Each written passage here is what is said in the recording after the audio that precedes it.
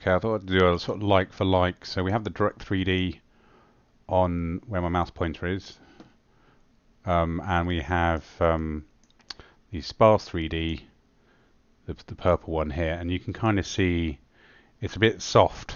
There seems to be lots of fiddly bits, but it's a bit sort of blurry, as, as I guess the way, and the details just seem a lot more crisp. Uh, the poly count is, is a lot more uh, between on on the uh, sparse. If we get stats up, actually, might be able to do that. Can I do that? Just bear with me. Stats. Okay, so let's go with so nine nine hundred and eighty three thousand. Let's say, and that's what. Yeah, so you can see it's a bit more.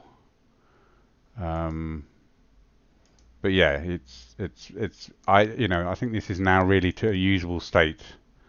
Um, I mean, it's quite different. Uh, it, well, it's resolved it, you know, in, imagine stuff, but in a way, I kind of I kind of prefer it. It's more. I mean, there's the odd weirdness, I guess, which you kind of expect with the AI stuff, but it's. I think this is usable. So, um, and it's symmetrical. Is it symmetrical? No, it's not symmetrical. I thought it was symmetrical, but it's not. Um, okay, I'll stop the video.